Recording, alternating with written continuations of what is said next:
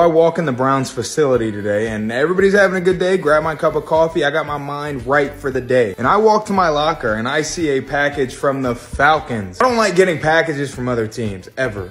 Not that I ever do get packages from other teams, but I'm looking at this like, why are the Falcons sending me stuff? It says 298. Man, keep my name out your mouth is how I felt when I saw this. But I figured I'd look into it.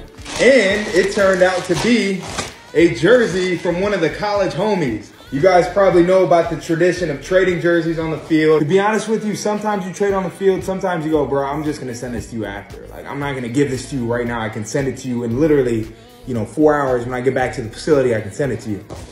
So he sent it to me. Huge shout out to my boy Ade, Ogundeji. But Falcons, don't send me anything else. Anybody else, don't send me anything else. I don't want it. But I, you know, if it's this, I'll take it.